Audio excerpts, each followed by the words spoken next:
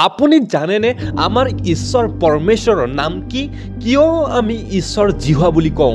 বহুত খ্ৰীষ্টিয়ানসকলেও নাজানে যীশুখ্ৰীষ্ট ঈশ্বৰৰ পুত্ৰ বুলি জানে ছান অফ গড বুলি জানে। কিন্তু স্বয়ং যীশুখ্ৰীষ্টই পৰমেশ্বৰ ঈশ্বৰ জিহোৱা বুলি নাজানে। বহুত মুছলমান ভাইসকলেও ইভেন খ্ৰীষ্টিয়ান ভাইসকলো প্ৰশ্ন সোধে যে যীশুখ্ৰীষ্টই ক'ত মই ঈশ্বৰ জিহোৱা বুলি কৈছিল? চ' লেটছ ষ্টাৰ্ট নাও পৃথিৱীৰ প্ৰতিজন ব্যক্তিয়ে জ্ঞাত বা অজ্ঞাতভাৱে পৰমেশ্বৰ ঈশ্বৰ জিহুৱাৰ নাম লয়। কোন চাইনিজ কোন জাপানিজ কোন আমেৰিকান কোন আফ্ৰিকান কোন ইণ্ডিয়ান কোন পাকিস্তানী প্ৰতিজন ব্যক্তিয়ে পৰমেশ্বৰ ঈশ্বৰ জিহুৱাৰ নাম লয়। আমি জানো মুচা নবীৰ বিষয়ে। মুচা নবী অৰ্থাৎ মুচিয়ে যেতিয়া হুৰেপ নামৰ ঈশ্বৰৰ পৰ্বতত পাইছিল যাত্ৰা পুস্তক তিনি অধ্যায়ত লিখা হৈছে এক্সাডাছ চেপ্টাৰ থ্ৰীত উল্লেখ কৰা হৈছে তেতিয়া মুচিয়ে মৰু প্ৰান্তৰ কাষেদি মেৰ সাগৰ জাক লৈ গৈ আছিল আৰু তেওঁ গৈ হুৰেপ নামৰ ঈশ্বৰৰ পৰ্বত পাইছিল। সেই ঠাইত জিহুৱাৰ দূতে এজোপা জোপোহা গছৰ মাজত অগ্নিশিখাত তেওঁক দেখা দিলে। মুচিয়ে চাই দেখিলে যে জোপোহাটোত জুই জ্বলি আছে কিন্তু জোপোহাটো পুৰি যোৱা নাই। তেতিয়া মুচিয়ে ক'লে মই এফুলীয়া হৈ যাওঁ আৰু এই আচৰিত বিষয়টো মই চাওঁ কিয়নো এই জোপোহাটো পুৰি যোৱা নাই। তাৰপিছত ঈশ্বৰ জিহুৱাই মুচিক উত্তৰ দিলে। জিহুৱাই ক'লে মই মিছৰ থকা মোৰ লোকসকলৰ যন্ত্ৰণালৈ নিশ্চয় দৃষ্টি কৰিছোঁ কাৰণ তেওঁলোক অতি কঠোৰ তত্বাৱধায়কৰ তলত আছে। মই তেওঁলোকৰ ক্ৰদন শুনিছোঁ। মই তেওঁলোকৰ যন্ত্ৰণাৰ বিষয়ে বুজি পাইছোঁ। মই তেওঁলোকক মিছৰীয়া লোকৰ হাতৰ পৰা উদ্ধাৰ কৰিবলৈ নামি আহিলোঁ। সেই দেশৰ পৰা উলিয়াই আনি গাখীৰ মৌ জোল বৈ থকা এখন উত্তম আৰু বহল দেশ য'ত কনানিয়া হিতিয়া ইমৰীয়া পৰেজিয়া হিবিয়া জিবুজিয়া লোকসকল বাস কৰে এনে ঠাইলৈ তেওঁলোকক নিবলৈ আহিলোঁ। তেতিয়া ইজৰাইলৰ লোকসকলৰ কাটৌতি মোৰ ওচৰলৈ আহিল। অৱশ্যে মিছৰীয়াসকলে তেওঁলোকৰ ওপৰত কৰা উপদ্ৰৱো মই দেখিছোঁ। সেয়ে মোৰ ইজৰাইলী লোকসকলক লোকসকলক মিছৰৰ পৰা উলিয়াই আনিবলৈ মই এতিয়া তোমাক ফৰণৰ ওচৰলৈ পঠাওঁ। তেতিয়া মুচিয়ে আচৰিত হৈ আচৰিত হৈ ঈশ্বৰ জীয়াক সুধিলে মুচিয়ে ঈশ্বৰক ক'লে মই যেতিয়া ইজৰাইলী লোকসকলক ক'ম যে তোমালোকৰ ওপৰ পিতৃসকলৰ ঈশ্বৰে মোক তোমালোকৰ ওচৰলৈ পঠালে তেতিয়া তেওঁলোকে মোক ক'ব তেওঁৰ নাম কি? তেতিয়া মই কি উত্তৰ দিম? ঈশ্বৰে মুচিক ক'লে মই যিজন হওঁ সেইজনেই হওঁ। এয়া চাওক ঈশ্বৰ জিহুৱাই মুচিক নিজৰ নাম কৈছে পাৰ্চনেলি ব্যক্তিগত নাম কৈছে মই যিজন হওঁ সেইজনেই হওঁ। ঈশ্বৰে পুনৰ ক'লে তুমি ইজৰাইলী লোকসকলক নিশ্চয়কৈ ক'বা যে মই যিজন হওঁ তেওঁৱেই মোক তোমালোকৰ ওচৰলৈ পঠালে। য়েছ তেওঁৰ নাম কি? মই হওঁ ইংলিছত এইদৰে লিখা হৈছে what is his name what should I say to them God say to Moses I am that I am God said you must say to them Israelites you must say to the Israelites I am has sent me to you কি কৈছে? I am ঈশ্বৰ জিহুৱাৰ নাম হৈছে I am মুচিক কৈছে যে ইজৰাইলসকলক ক'বা I am I am এই মোৰ নাম আই এমে মোক পঠাইছে বুলি ক'বা। মুচিয়ে ঈশ্বৰ জীয়ক সুধিলে আপোনাৰ নাম কি? ঈশ্বৰ জীয়ে কৈছে আই এম বিশ্বৰ প্ৰতিজন ব্যক্তিয়ে জানি বা অজানিতে পৰমেশ্বৰ ঈশ্বৰৰ নাম লৈ পৰিচয় দিয়াৰ আগতে ঈশ্বৰৰ নাম পৰমেশ্বৰৰ নাম লৈ ইংলিছত পৰমেশ্বৰৰ নাম হৈছে আই এম আই এম আৰু সেইবাবে আমি নিজৰ নাম কোৱাৰ আগতে আমি পৰমেশ্বৰৰ নাম লওঁ। I am Deepak I am এই আই এম হৈছে ঈশ্বৰ জিহুৱাৰ নাম অৰ্থাৎ পৰমেশ্বৰৰ নাম। I am Rani I am Michael I am Jacob আৰু আমি অসমীয়াত কওঁ মই আছোঁ আই এম মানে অসমীয়াত হৈছে মই আছোঁ বা মই হওঁ। মই হওঁ ৰাজু মই হওঁ কবিতা মই হওঁ অজিত। বিশ্বৰ প্ৰতিজন ব্যক্তিয়ে জানি বা অজানিতে এই পৰমেশ্বৰ ঈশ্বৰৰ নাম লৈ আই এম আই এম হৈছে ঈশ্বৰৰ ঈশ্বৰৰ পৰমেশ্বৰৰ পাৰ্চনেল নাম ব্যক্তিগত নাম আৰু এই আই এমকে আমি হিব্ৰী ভাষাত কওঁ য়াৱে বুলি কওঁ। আমি হিব্ৰী ভাষাত ইয়াক আই এমক আমি কি কওঁ? য়াৱে বুলি কওঁ। গতিকে আই এম যদি জীয়াই নাথাকে তেতিয়াহ'লে আমি জীয়াই নাথাকোঁ। মই আছোঁ যদি নাথাকে তেন্তে আমিও নাই। মই আছোঁ যদি জীয়াই নাথাকে তেন্তে আমিও জীয়াই নাথাকিম। পূৰ্বতে তেওঁ প্ৰেম কৰাৰ কাৰণেহে আমি তেওঁক প্ৰেমী ঈশ্বৰ কৈছোঁ এনে নহয়। তেওঁ প্ৰেম কৰাৰ কাৰণে আমি তেওঁক প্ৰেম কৰিছোঁ এনে নহয়। তেওঁ স্বয়ং নিজেই পোনপ্ৰথমতে তেওঁ প্ৰথমতে তেওঁ নিজেই প্ৰেম সেইকাৰণে তেওঁ প্ৰেম কৰিছে। তেওঁ ঈশ্বৰ হোৱাৰ কাৰণেহে যে তেওঁ এই কামবোৰ কৰিছে এনে নহয়। তেওঁ প্ৰথমতে পৰমেশ্বৰ হয় তেওঁ নিজেই পৰমেশ্বৰ হয়। তেওঁ পবিত্ৰ হোৱাৰ কাৰণেহে তেওঁ পবিত্ৰ কামটো কৰিছে এনে নহয়। তেওঁ নিজেই পবিত্ৰ হয় সেইবাবে তেওঁ পবিত্ৰ কামটো কৰিছে। তেওঁ প্ৰেম সেইবাবে তেওঁ প্ৰেম কৰিছে। তেওঁ প্ৰেম কৰাৰ কাৰণে আমি তেওঁক প্ৰেম কৈছোঁ এনে নহয়। তেওঁ নিজেই প্ৰেম হয় আৰু সেইকাৰণে তেওঁ প্ৰেমৰ কাম কৰে। ঈশ্বৰৰ ৰাজ্যত পৰমেশ্বৰৰ নেচাৰত প্ৰতিটো বস্তুই তেনেকুৱা। বহুতেই ভাবে মই খেলত জয়ী হ'ম তেতিয়া মোক বিজয়ী বুলি ক'ব। মই ছাকচেছ হৈ ল'ম তেতিয়া মোক ছাকচেছফুল বুলি ক'ব। মই বিজনেছ কৰিম তেতিয়া মোক বিজনেছমেন বুলি ক'ব। মই ধৰ্মৰ কাম কৰিম তেতিয়া মোক ধাৰ্মিক বুলি ক'ব। কিন্তু ঈশ্বৰৰ ৰাজ্যত তেনেকুৱা একেবাৰেই নহয় সম্পূৰ্ণ বিপৰীত। ঈশ্বৰত আপুনি সদায় ছাকচেছ আৰু সেইবাবে আপুনি সদায় ছাকচেছফুল কামবোৰ কৰিব। ঈশ্বৰত আপুনি সদায় জয়ী সেইবাবে সদায় আপুনি বিজয়ী হ'ব। ঈশ্বৰত আপুনি যেতিয়া আহে তেতিয়া পাপী এজন আহে। পাপী প্ৰথমতে ক্ষমা পায় তাৰপিছত তেওঁক ধাৰ্মিক বুলি গণিত হয়। তেওঁ পাপৰ পৰা ক্ষমা পাবলৈ প্ৰথমতে ধাৰ্মিক কামবোৰ কৰিব নালাগে তেওঁ প্ৰথমতে ক্ষমা পায় তাৰপিছত তেওঁ ধৰ্মৰ কামবোৰ কৰে। ঠিক তেনেকুৱা ঈশ্বৰৰ ৰাজ্যত আপুনি মানুহ হয় বাবে আপুনি মনুষ্য সন্তান আপুনি জন্ম দিছে এনে নহয়। আপুনি মনুষ্য হয় বাবে সেইবাবে আপোনাৰ সন্তান মনুষ্য হয়।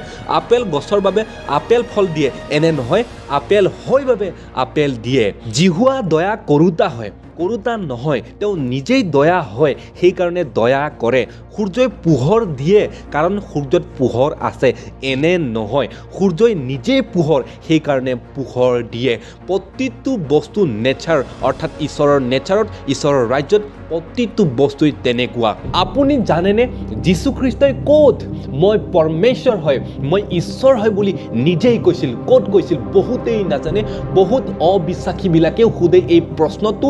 যে বহুতেই ভাবে তেওঁবিলাকে তিনিটা ঈশ্বৰক পালন কৰি আছে তিনিটা ঈশ্বৰক তেওঁলোকে পূজা কৰে প্ৰাৰ্থনা কৰে বুলি ভাবে। The father the son the holy spirit এই তিনিটা পাৰ্চনক তেওঁলোকে পালন কৰে বুলি ভাবে আৰু তিনিটা ঈশ্বৰ আছে বুলি ভাবে। আৰু বহুতেই সোধে আনকি ইভেন খ্ৰীষ্টিয়ানসকলেও নাজানে যে যীশুখ্ৰীষ্টই ক'ত মই পৰমেশ্বৰ হয় বুলি কৈছিল। ক'ত কৈছিল? ক'ত লিখা আছে? John chapter ten verse number থাৰ্টিত এইদৰে যীশুখ্ৰীষ্টই কৈছিল মই আৰু সেই পিতৃ এক বুলি কৈছে। মই আৰু সেই পিতৃ এক ইংলিছত এনেদৰে ট্ৰান্সলেট কৰা হৈছে আই এণ্ড দ্য ফাদাৰ আৰু ওৱান বুলি কৈছে। আই এণ্ড দ্য ফাদাৰ আৰু ওৱান বুলি কৈছে। মই আৰু পিতৃ এক বুলি কৈছে। এই কথাষাৰ কোৱাৰ লগে লগে যীশুখ্ৰীষ্টক যিহুদীবিলাকে মাৰিব ধৰিলে। তেতিয়া যিহুদীবিলাকে তেওঁক মাৰিবলৈ আকৌ শিল তুলি ল'লে। যীশুৱে তেওঁলোকক উত্তৰ দিলে মোৰ আৰু পিতৃৰ পৰা অনেক ভাল কৰ্ম তোমালোকৰ আগত দেখুৱালোঁ। সেইবোৰ কোন কৰ্মৰ নিমিত্তে মোক শিল দলিয়াই মাৰা? যিহুদীবিলাকে তেওঁক উত্তৰ দিলে ভাল কৰ্মৰ নিমিত্তে নহয় কিন্তু তুমি মানুহ হৈও নিজকে ঈশ্বৰ বুলি ঈশ্বৰক নিন্দা কৰিছা। এইকাৰণে তোমাক শিল দলিয়াই মাৰোঁ। এই কথাষাৰ কোৱাৰ লগে লগে গোটেই জাতি গোটেই যিহুদীবিলাক একেবাৰে ভয় খাই গৈছিল। আৰু সেই কথাষাৰ কোৱাৰ লগে লগে তাত এটা একদম পূৰা ডাঙৰ এটা হুলস্থুল পৰিৱেশ হৈছিল। কাৰণ যীশুখ্ৰীষ্টই কৈছে মই আৰু সেই পিতৃ এক বুলি কৈ দিছিল। সেইকাৰণে বহুত যিহুদীবিলাকৰ মাজত এটা হুলস্থুলৰ পৰিৱেশ সৃষ্টি হৈ গৈছিল। কিন্তু আমাৰ প্ৰভু যীশুখ্ৰীষ্টই ভয় খোৱা নাই। নিজকে কৈয়ে আছে যে মই ঈশ্বৰ হয় বুলি কৈয়ে আছে ভয় খোৱা নাই।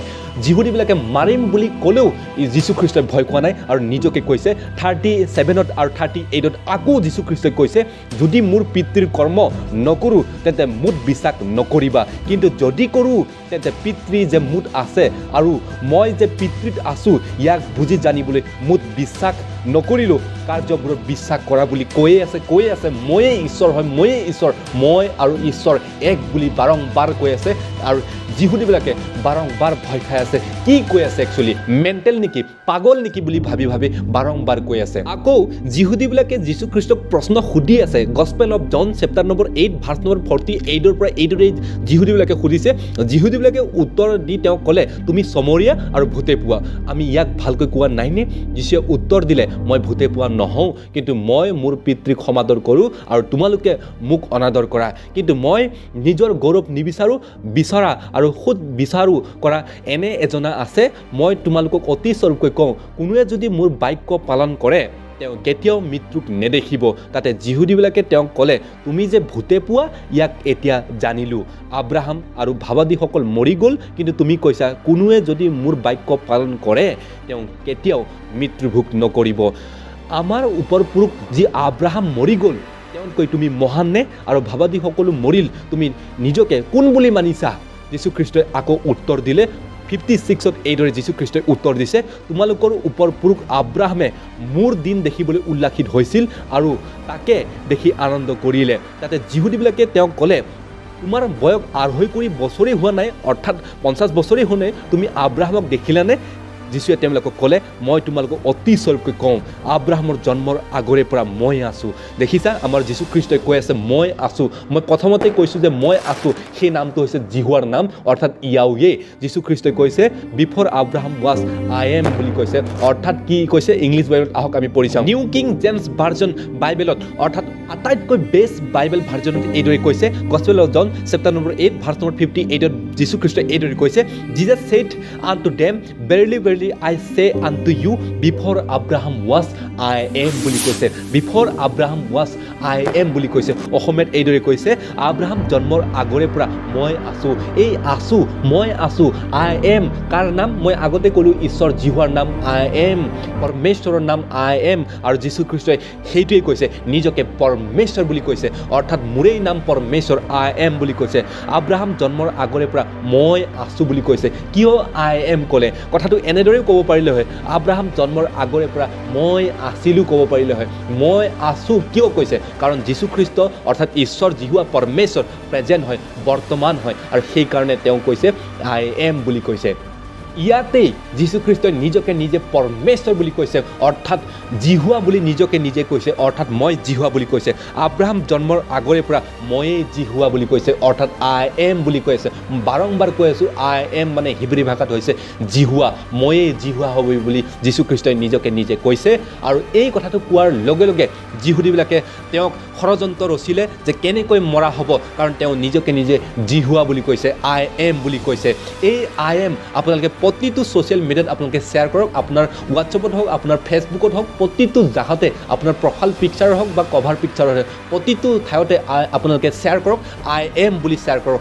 আই এম কাৰ নাম? ঈশ্বৰ জিহুৱাৰ নাম। জিহাটোকে আমি জিহুৱা য়াৱেটোকে জিহুৱাটোকে আমি আই এম বুলি কওঁ। গতিকে এই আই এম প্ৰতিটো ঠাইত আপোনালোকে শ্বেয়াৰ কৰিবলৈ একেবাৰে নাপাহৰিব। নেক্সট ভিডিঅ'ত বিষমভাৱে আলোচনা কৰা হ'ব। যীশুখ্ৰীষ্টক কিয় ঈশ্বৰৰ পুত্ৰ বুলি কোৱা হয়? ছান অফ গড বুলি কোৱা হয়। কিয় কোৱা হয়? আৰু son a son of man বুলি মানুহৰ পুত্ৰ মনুষ্যৰ পুত্ৰ বুলি কিয় কোৱা হয় আৰু নিজকে নিজে কিয় ঈশ্বৰ হয় বুলি তেওঁ কৈছে? কিয় কৈছে? এই বিষয়ে নেক্সট ভিডিঅ'ত বিষমভাৱে আলোচনা কৰা হ'ব। তেতিয়ালৈকে প্ৰত্যেককে ঈশ্বৰ জীৱাই আশীৰ্বাদ কৰক আৰু এই আই এম অৰ্থাৎ ইয়াৱে এই আই এম হৈছে জিহুৱাৰ নাম এই I am Deepak I am Papu এই কথাটো শ্বেয়াৰ কৰিবলৈ একেবাৰে নাপাহৰিব। আই এম প্ৰতিটো ঠাইতে লগাই দিয়ক কাৰণ আই এম হৈছে ঈশ্বৰৰ নাম পৰমেশ্বৰৰ নাম। প্ৰত্যেককে পবিত্ৰ আত্মাই সহায় কৰক। প্ৰেষ্টলত আমিন